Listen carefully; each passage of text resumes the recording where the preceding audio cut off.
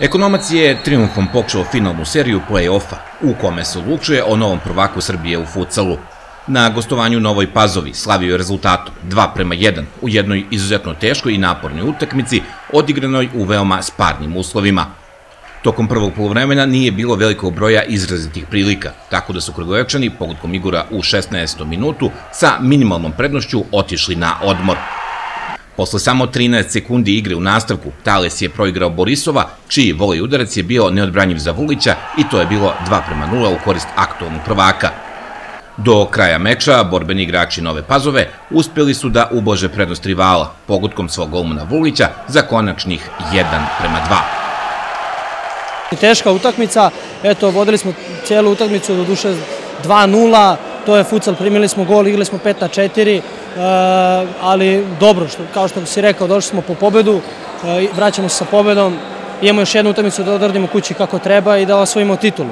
Nova Pazova je bila u nekompletnom sastavu i pružila je izuzetno žilav otpor u susretu sa favoritom, ali osim časnog poraza, više se u datom trenutku nije moglo.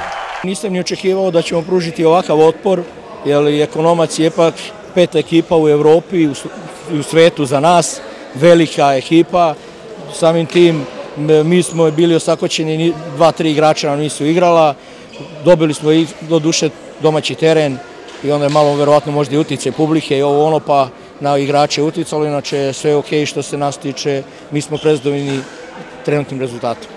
Ostvarena pobjeda svakako da je u velikoj meri približila ekonomac osvajanju desete šampionske titule. Trener Predrag Rajić smatra da ne treba da dođe do opuštanja i da njegov tim u revanš mora da uđe maksimalno spreman i motivisan.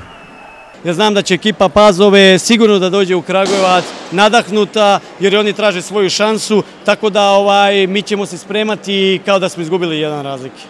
Revanš je na programu u petak od 19 časova u Hali Jezero.